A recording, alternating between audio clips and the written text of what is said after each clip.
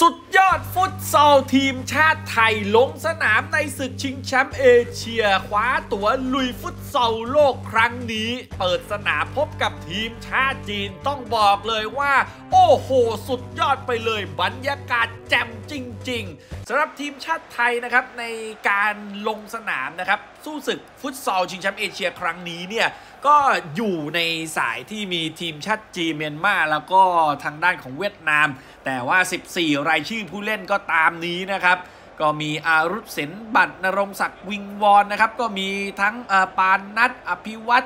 นะครับคาทาวุฒิมูฮัมหมัดนะครับโอ้โหครบสุภวุฒิเถื่อนกลางนะฮะเนี่ยไล่เลียงไปก็จะครบแล้วแต่คนที่ออกสตาร์ทเลยก็เป็นทางด้านของอารุษศินบัตรนะครับแล้วก็กริอรันสัญญารักษ์จิรวัตรสอนวิเชียนเป็นกัปตันทีมนะครับรวมไปถึงสุภวุฒิเถื่อนกลาง แล้วก็อภิวัตรแจ่มเจริญนั่นเองนะครับ ส่วนเม็ดนี่ก็ต้องบอกว่าโอ้โหตั้งแต่ไปเล่นต่างประเทศมานี่ ต้องยอมรับเลยนะครับว่าศักยภาพฝีเท้า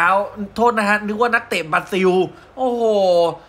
มูเมตอุสมามุซานี่ สุดยอดนะครับ รวมไปถึงสุภวุฒิเถื่อนกลาง เหมือนเรามีอาวุธหนักตลอดเวลาครับในการลุยในการเจอกับทีมจากเอเชียไม่ว่าใครก็แล้วแต่นะต้องบอกเลยครับว่าทีมชาติไทยของเรานี่ไม่กลัวแน่นอนนะครับ แล้วบรรยากาศในสนามเนี่ยโอ้โห พอทีมชาติของเราเดินลงมา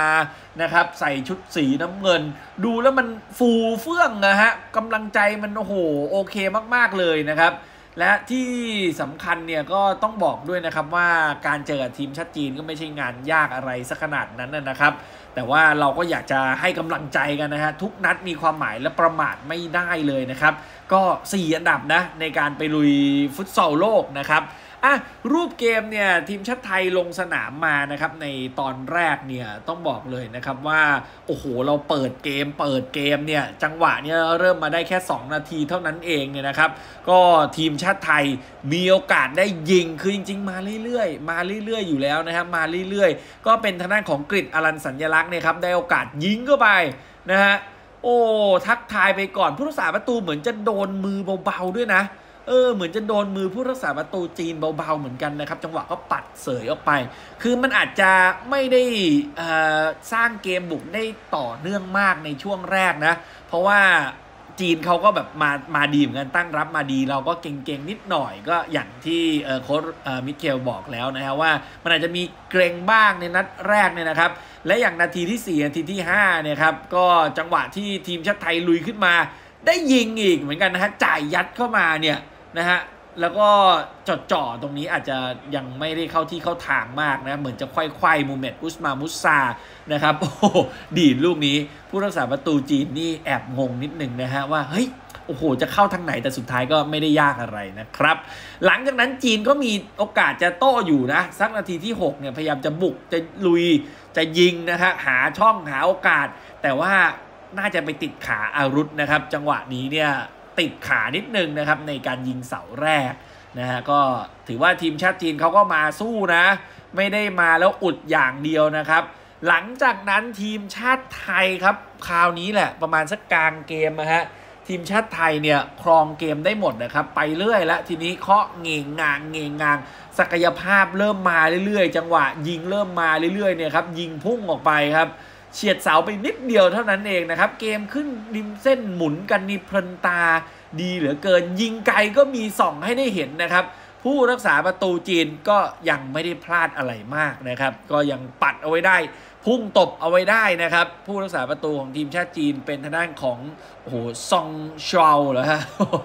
ชื่ออ่านยากเหลือเกินนะแล้วก็หลังจากนั้นมาไทยเอาจริงแล้วครับนะฮะไทยมาแบบอ้าว เดี๋ยวต้องเอาไปให้ได้แล้วไม่เสียเวลาณรงค์ศักดิ์วิงวอนจ่ายเข้ามาตรงกลางนะครับ พอจ่ายเข้ามาตรงกลางเราได้ลองกดยิงอีกครับมูฮัมหมัดอุสมานมูซา แต่ก็ยังไปติดเซฟของผู้รักษาประตูทีมชาติจีนนะครับ หลังจากนั้นมาไทยมาเรื่อยครับ ขึ้นมาทางซ้ายยิงติดเซฟยิงติดบล็อกนะครับ จีนก็มาโต้กลับนะครับอะแต่ว่าสุดท้ายแล้วต้องบอกว่าเป็นทีมชาติไทยนะในนาทีที่ 12 นะ เออที่หลุดขึ้นมาเป็นทางด้านของอภิวัตแจ่มเจริญครับ หลุดขึ้นมาเนี่ยเขาเล่นกันพลาดนะฮะ คือแบบเหมือนว่าส่งมาปุ๊บแล้วบอลมาเข้าทางพอดี หลบ 3 หลบ 3 แล้วแหวกเข้าไปชิปลูกนี้ครับ เหนือชั้น เหนือชั้นนะครับ โอ้โห เข้าไปเรียบร้อย 1-0พอ1-0 เสร็จแล้วเนี่ย เกมไทยเอาตรงเปิดแบบไม่รู้ว่าจะเปิดยังไงเลยนะครับ และคราวนี้เนี่ยมาเป็นทางด้านของจีรวัตรสอนวิเชียนครับ จัดให้ครับโอ้โหอยู่ด้านหลังนะครับเฉาะมาเฉาะมาขึ้นเกมมานะครับ แล้วพอเฉาะมาเสร็จแล้วปุ๊บเข้าทางของสุภวุฒิเถื่อนกลาง สุภวุฒิเถื่อนกลางก็จัดการยิงดีครับโอ้โหจับปุ๊บยิงปั๊บเข้าเสียบตาข่ายเข้าไป ลูกนี้ต้องยอมรับนะว่าเป็นความสามารถเฉพาะตัวแล้วก็เป็นประสบการณ์นะฮะ ที่แตะเดินหน้าเข้าในปุ๊บแล้วยิงเสียบเลยผู้รักษาประตูจีนก็หมดสิทธิ์เซฟนะครับ แต่เขาเขามาร์กไม่ค่อยดี ผมว่ากองหลังจีนมาร์กไม่ค่อยดีนะครับ ก็นั่นแหละครับ 2-0 พอ 2-0 โดนต่อ ขยี้ต่ออีกนะฮะ ประมาณนาทีที่ 15 16 เนี่ยครับ โอ้จ่ายเข้ามาให้กับมูเมตอุสมามุซา แล้วมูเมตเนี่ยดีมากนะ คือตอนแรกอะเขาเข้ามาสไลด์พอมาสไลด์เสร็จเม็ดไม่ยิงเม็ดมันดึงก่อนนะฮะเม็ดเขาดึงทึ๊กทึ๊กยึกยักยึกยัก โอ้โห เป็นจังหวะนักเตะบราซิลเลยอะหลอกยิงดึงคึง ดึงดูดดวดดวบนะฮะ โอ้โห แล้วลูกนี้ยิงเข้าไป เสียบตาข่ายเรียบร้อยครับสามประตูต่อศูนย์ต้องบอกเลยว่า เราเล่นแบบเหมือนกับว่าแสดงให้เห็นแล้วมันค่อนข้างแตกต่างกันเยอะพอสมควรนะครับ กับทีมชาติจีนเนี่ยนะฮะอะแต่ก็อย่างว่าแหละครับทีมชาติไทยเล่นในบ้านศักยภาพเหนือกว่าทุกสิ่งทุกอย่างเลยกดทีมชาติจีน เอาไว้อยู่หมัด ส่วนจีนเนี่ยเขาเล่น power play ตั้งแต่ครึ่งแรกนะ กลับมาต่อครึ่งหลังเนี่ยนะฮะ ก็ต้องบอกว่าจีนยังเล่น power play ต่อเนื่องเลยนะฮะ แต่ว่าเนี่ยฮะเติมขึ้นมาซัดไกลยิงไกลแบบนี้ แต่ว่าของเรายังรับไว้ได้ปัดป้องไว้ได้นะครับ แต่ต้องบอกเลยนะครับต้องระวังครับทีมชาติจีนต้องระวังนะครับ เพราะว่าทีมชาติไทยเคาะไป เคาะมาเคาะไปเคาะมาดึงหาช่องถึงแม้ว่าเกมเขาจะดูดีขึ้น แต่สุดท้ายแล้วเราแค่รอจังหวะครับนี่3 0แล้วไงนะฮะเราก็อาจจะยังไม่ได้ปล่อยทีเด็ดอะไรมากมายสำหรับฟุตซอลทีมชาติไทยของเราเนี่ยนะฮะหาโอกาสเน้นๆเหมาะๆยิงเข้าไปเนี่ยนะครับทางด้านของเม็ด มูฮัมหมัดอุสมานมูซาเนี่ยก็มีโอกาสสับไกยิงเรื่อยอะฮะไม่ว่าจะหาแตะออกขวาแตะออกซ้ายปั่นเข้าไป แต่ผู้รักษาประตูจีนถือว่าเซฟใช้ได้อยู่นะ เออไม่ขี้ริ้วขี้เรนะฮะ แต่ต้องชมนะเม็ดนี่แบบจังหวะคึงนี่ โอ้โห เห็นแต่ละลูกมานี่ ฟุตซอลคลาสนะฮะ ฟุตซอล world class นะครับ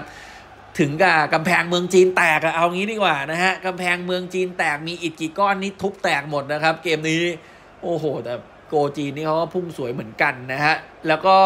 ยิงจอจอพลิกยิงมีให้เห็นนะครับ คือผมรู้สึกว่าเกมนี้มันค่อนข้าง เหนือกว่าพอสมควรเลยนะ แต่ก็ยัง 3-0 อยู่นะ แล้วก็สุดท้ายนะครับ ไทยมาเสียประตูจากซื่อหยางกับตันทีมของเขามายิงตวัดเข้าไปนะครับ แล้วก็จบเกมครับ ทีมชาติไทยชนะไป 3 ประตูต่อหนึ่งนะครับ ถ้าหากว่าชื่นชอบอย่าลืมกดไลค์ กดแชร์ กด Subscribe กดกระดิ่งแจ้งเตือนจะได้ไม่พลาดทุกคลิปความเคลื่อนไหวสำหรับวันนี้ลาไปก่อน สวัสดีครับ